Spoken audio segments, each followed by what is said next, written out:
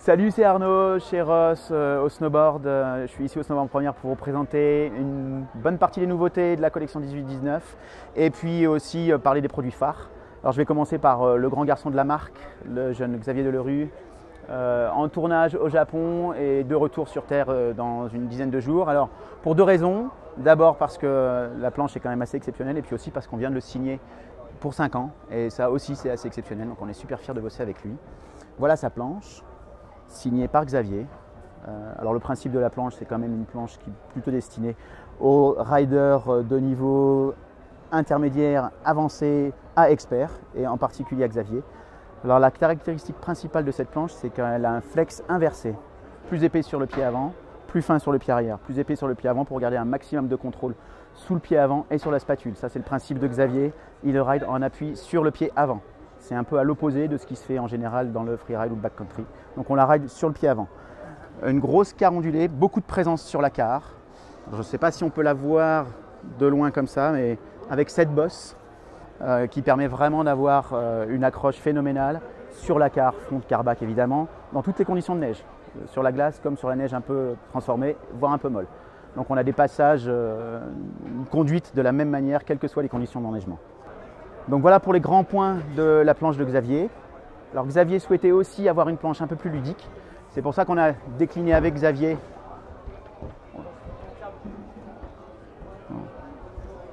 une petite homothétie de la XV qui s'appelle Sushi, développée à l'origine comme un clin d'œil euh, à ce qui se faisait dans les années 90, au début des années 90, euh, au Japon en mode fiche. Donc c'était l'époque du snow surf. Voilà. Donc celle-ci s'appelle la sushi. D'accord, sushi pour deux raisons, parce que ça fait dix ans que Xavier est chez nous, et puis l'histoire du Japon des, euh, euh, sushi masters, les jeunes hommes qui prennent des cours de, cuisine au Japon, n'ont le droit de pratiquer le confectionnage des sushis qu'à partir de 10 ans de pratique en école. Et donc c'est le principe, euh, voilà, 10 ans de pratique, on devient sushi master, 10 ans chez Ross, le petit clin d'œil euh, à Xavier Delerue avec la signature sushi. Donc voilà, la XV sushi en mode fiche. Alors celle-ci, elle est également atypique comme la sienne, elle ne se ride pas vraiment sur le pied avant, en revanche, elle est hyper large au patin, 28 cm, et elle a une spatule euh, assez énorme, 60 cm de long quasiment sur 30 cm de large. Le principe ici, justement, cette largeur, c'est de ne pas la rendre exclusive au grand pied, mais de permettre à tout le monde de la rider, y compris euh, les, femmes euh, qui, peuvent chausser du 37 au 38. Euh, la raison pour laquelle tout le monde peut la rider, c'est parce qu'elle intègre dans son noyau des bandes de polyuréthane qui permettent justement de la déformer en pression. Voilà, ce qui. alors je ne sais pas si on, les voit véritablement, les bandes de polyuréthane ici.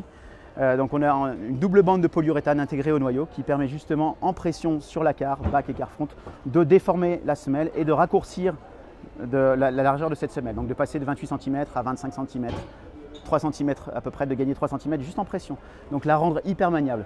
À l'origine, c'était une planche qui a été dessinée pour les arbres et la forêt japonaise et qui passera très bien ici sur la forêt de Balme ou euh, sur euh, voilà, les, montagnes intermédiaires de 1500 mètres à 2000 mètres, euh, voilà, en neige essentiellement douce et qui passe également très bien en piste, puisque c'était le principe aussi, c'était de ne pas la réserver sur la neige profonde. Donc voilà, deuxième petit modèle signé par Xavier, la Sushi, la XV et la XV Sushi.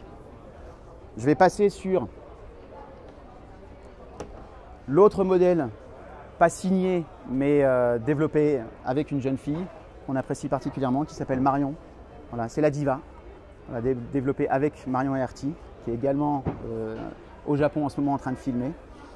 Donc voilà, ça c'est aussi une réédition de l'an passé, avec un changement de, chromique, donc de sérigraphie. Et là également, le principe d'intégrer des bandes de polyuréthane le long des champs pour permettre une déformation de la planche en douceur sur la car et apporter cette douceur de changement de, car euh, assez inégalé sur le marché. Euh, ça, c'est quelque chose d'assez exclusif chez Rossignol, l'intégration de bandes de polyuréthane à la fois sur la Sushi et également sur la Diva. C'est également proposé sur d'autres modèles dans la collection, mais là, je vous présente les modèles phares de Marion, qui a raidé sur le Freeride World Tour l'an passé, et notamment la Diva 52 qui lui a permis de gagner l'épreuve de Verbier. Donc voilà, ça c'est la petite Diva il faut savoir que même si Marion l'a utilisé sur Verbier pour gagner le Freeride World Tour, c'est une planche twin à l'origine qui a été dessinée plutôt pour une, pratique freestyle, mais que Marion utilise en mode directionnel, en reculant euh, sa position de fixation sur les inserts. Mais elle est twin avec une carondulée 5 bosses, assez affinée, qui passe très bien euh, sur, les machines et qui s'affûte euh, également à la main. Et puis avec une semelle tranchée, donc assez rapide, à condition d'être entretenue avec euh, un noyau désépaissi entre les, entre les fixations et un flex légèrement euh, plus épais en spatule pour le pop. Donc voilà la Diva. Du côté de Marion, on s'est assez centré depuis quelques années sur les produits de Marion et de Xavier. Xavier en priorité et Marion euh, récemment. Et cette année, on avait envie de développer un peu la, catégorie freestyle, notamment sur des planches accessibles à partir de la gypso. Donc on a décliné la gypso, on l'a désépaissie, on a retiré les renforts euh, là où on n'en avait pas besoin pour proposer des produits qui se rapprochent de la Gypso mais qui sont plus ludiques, plus faciles, euh, plus doux, euh, plus légers également à des consommateurs qui sont moins pointus, qui pratiquent moins de 40 ou 50 jours de snowboard par an. Donc directement décliné du shape de la Gypso, deux modèles que je vous présente aujourd'hui. La Blade pour les garçons. Voilà, avec une carondulée adoucie trois bosses. Donc les points de contact et une bosse centrale, ça c'est pour la croche. Un noyau des épaissis entre les pieds pour la stabilité, le confort de ride et la stabilité à vitesse élevée. Un bon cambre entre les pieds, là aussi pour la stabilité. Beaucoup de rockers au milieu, en sortie d'insert, en, en arrivée d'insert, pardon, pour la maniabilité, la jouabilité et le pop également. Et puis une semelle extrudée, facile d'entretien, qui glisse immédiatement pour euh, la jouabilité, pour la maniabilité et simplement pour le confort de ride. Donc une planche ludique, facile à rider, symétrique, sur le modèle de la Gypso utilisé par TomTom, par Enzonilo, voilà, par les freestylers. Donc voilà, qui s'adresse plutôt à la catégorie débutant jusqu'à intermédiaire. Voilà. la petite sœur de la Sobled. Sur le même principe, décliné Jet Gypso, cette planche freestyle twin qui est notre numéro 1 euh, en, vente, avec un petit cambre, donc 20% de cambre, 80% de rocker, par rapport à une Gypso qui a 60% de cambre, 40% de rocker. D'accord? Le, rocker pour la maniabilité, le cambre entre les pieds pour la stabilité à vitesse élevée, un noyau légèrement désépaissi entre les pieds pour le confort, pour déformer euh, le, rayon en courbe entre le pied avant et le pied arrière. Donc ça c'est vraiment l'adaptabilité de cette planche, également sur la, sur la et puis euh, voilà, un shape euh, un peu plus moderne, trois bosses au lieu de sept. Donc on a toujours une présence, une accroche sur la carte, mais qui est beaucoup plus douce, beaucoup moins, beaucoup moins perturbante quand on a moins l'habitude de rider, quand on pratique le snowboard de manière un peu plus dilettante. Voilà la Meraki du côté des filles. J'enchaîne sur la partie fixation euh, rossignol. 14 modèles dans la collection. Je vais essentiellement me focaliser sur euh, la petite nouveauté de l'année, sur la CUDA. Donc ça c'est une fixation euh, commercialisée à 229 euros prix de vente publique conseillé. Et en particulier celle-ci, la petite nouveauté de l'année, c'est le strap bien injecté.